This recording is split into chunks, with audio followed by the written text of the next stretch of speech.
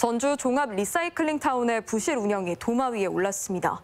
한승우 전주시 의원은 시청에서 기자 간담회를 열고 사회 기반 시설인 전주 종합 리사이클링 타운이 하수 슬러지 소각 시설의 잦은 고장과 음식물 폐기 처리 시설의 악취, 산재와 노사 갈등이 속출하고 있다고 지적했습니다.